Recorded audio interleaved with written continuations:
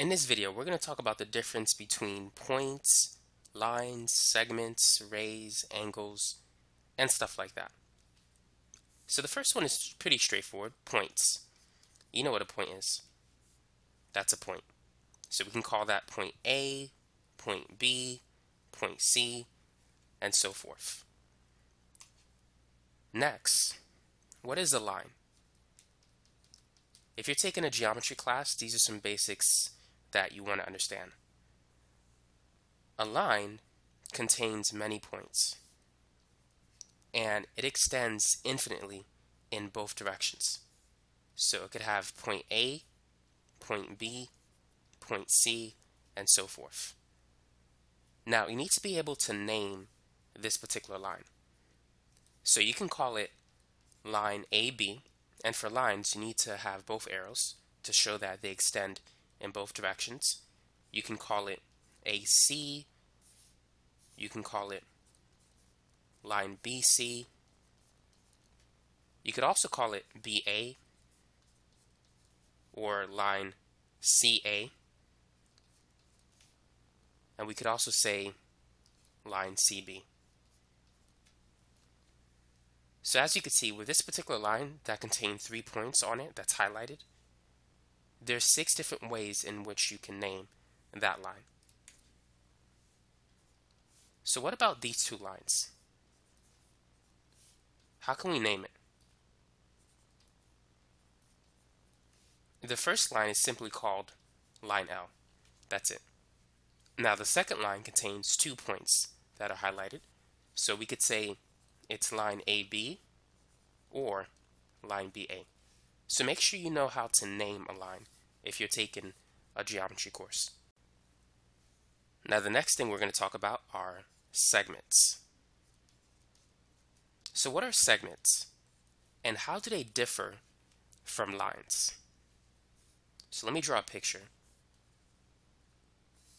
A segment contains two endpoints. It has a beginning and it has an end. A line goes on forever in both directions, but a segment, it has a finite length. So this can be called segment AB or segment BA. So as you can see, there are no arrows, so that tells you that it's a segment. If we put two arrows on it, then we have line AB. It's no longer a segment. But if you don't see those two arrows there, then it's a segment. So you need to be able to distinguish segments from lines, and in the next example, also from rays. So what is a ray in terms of geometry? And let's fix that y. That y does not look like a y. A ray has features of a segment and a line.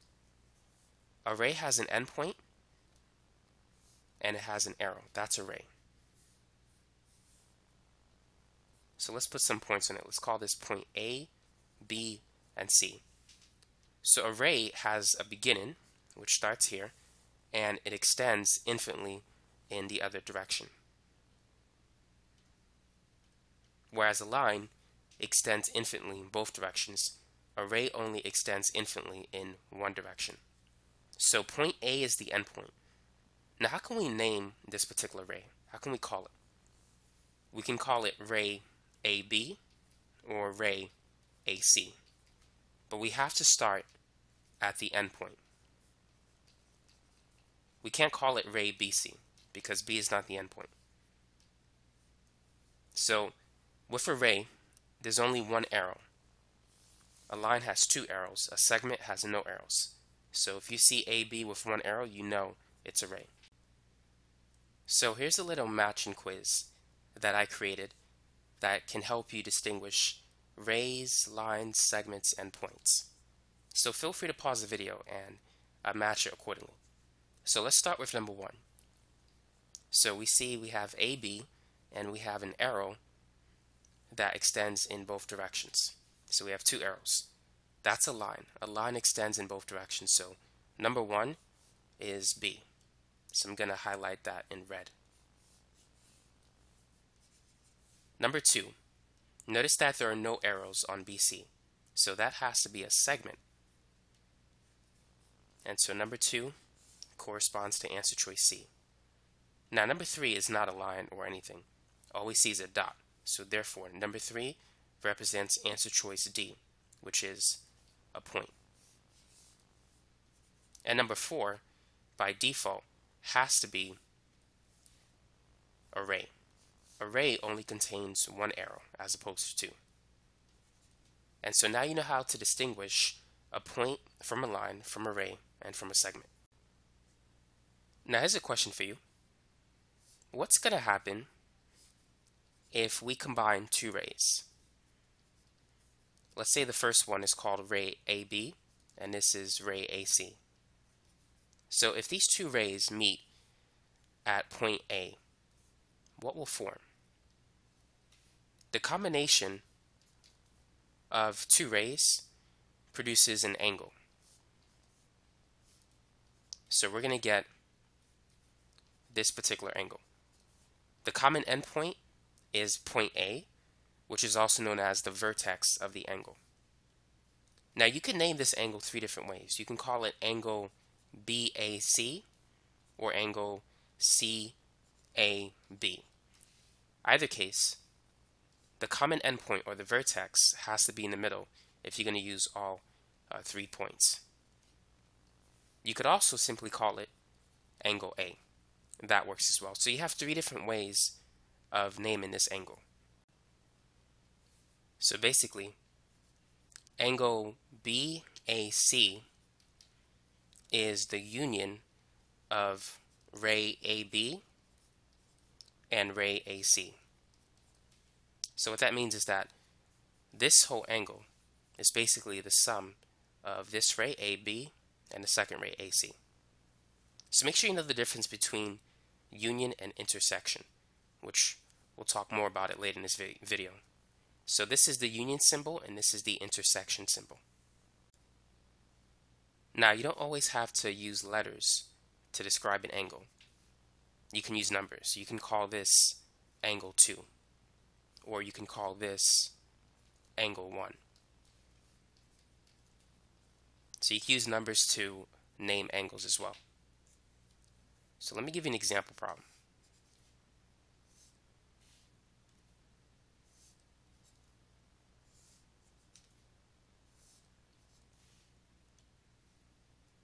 let's call this angle 1, which extends between the first two rays. And let's say this is angle 2 and angle 3. And let's say this is A, B, C, D, and E. Starting with angle 1, what are two ways or two other ways in which we can name angle 1? So angle 1 can be called angle A, B, D. You could also say it's angle D, B, A.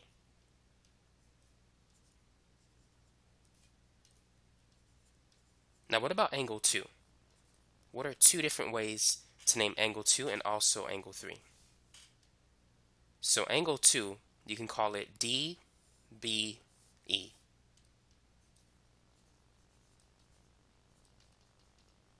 You could also call it angle E, B, D. You can name it in reverse. And the process is going to be the same for angle 3. So angle 3 can be called angle E, B, C, or you can call it angle CBE.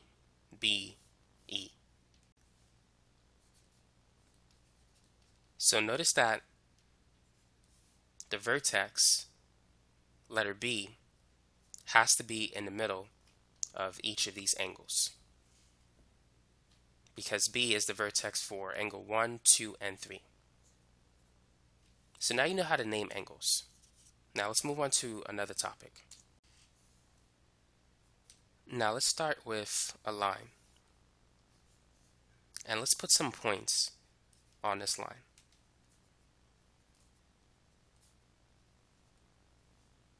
So let's call this point A, B, C, and D. So here's a question for you. What is the union of segment AB and segment BC? How would you represent the union of these two segments? So this is segment AB and this is segment BC.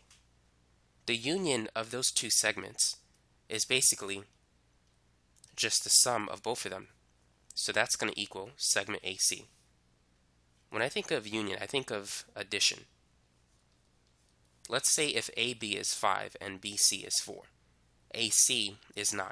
So AC is basically AB plus BC.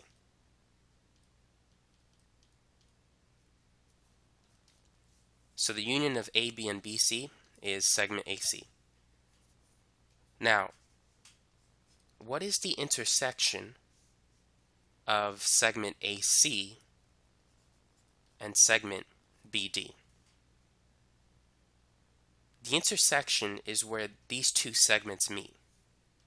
So this is segment AC and segment BD is highlighted in green. Now notice that AC and BD, they intersect at BC. That's where we have both of them. So the intersection of AC and BD is simply BC or segment BC.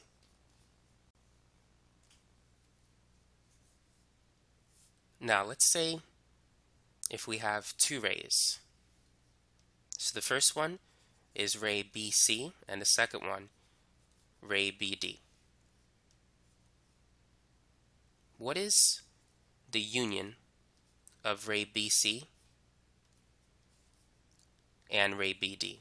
What's the union of these two? Well, if we put them together, as we mentioned before, this is going to turn into an angle where the common endpoint is B. So the union of these two rays, ray BC and BD, will give us angle CBD. So we've covered this before. But now here's my question for you. What is the intersection of ray BC and ray BD? Think about it. What's the intersection? So where do these two rays, where do they meet? Where do they overlap? Notice that they meet only at point B. Ray BC is not part of Ray BD. They only connect at a point, not at a segment or a line. So the answer is simply point B.